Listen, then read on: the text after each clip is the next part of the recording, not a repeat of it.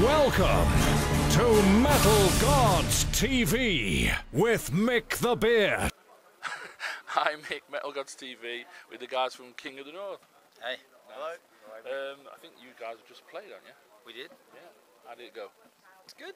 Yeah. Yeah, Very well. Good vibe. yeah. It was good. And have you got some uh, stuff that you're pushing at the moment, like material-wise? Uh, yeah, we've got an album that we've been touring Europe on, um, and the UK. This this this on this tour the last two months. It's called Sound the Underground, and that's our debut record. And if for people who've not heard you, what would you say it sounds like? Um, I don't know, like groovy hard rock. Nice one. And if, if you could tour with any band, who would you pick to tour with? ACDC would definitely be up there. Yeah, I'd Yeah. say ACDC. Yeah, that'd be a dream. Massive fans then. Yeah. Oh, and they're just so iconic. You know, there's nobody in their genre doing what they're doing.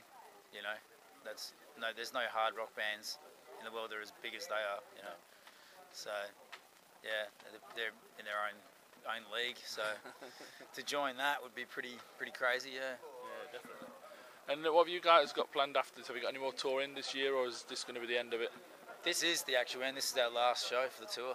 So we head home now, and then we have a bit of bit of time in bed, and then we're looking at writing a second record. Nice one. Yeah. That'll hopefully be out in the new year, will it? Hopefully. Yeah. Don't quote me though. don't, I don't want any pressure. No, go give you something to do in your holidays. Well, it's, like I say, you've got to keep writing new material though, because then it's, it helps you when you it's something to tour off it.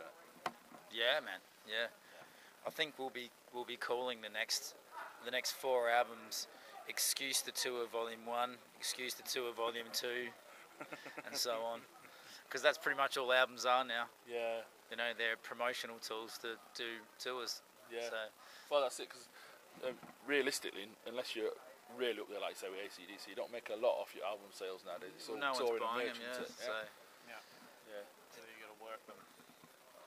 It's a shame though, because I mean, it's, it's, there's lots of guys putting a lot of hard work, but in, unless you're out there touring, and sometimes that's hard because you've got jobs as well. yeah, yeah, yeah. It's uh, we've said a few times while we have been driving ourselves around Europe and loading our massive backline ourselves that we should have been DJs.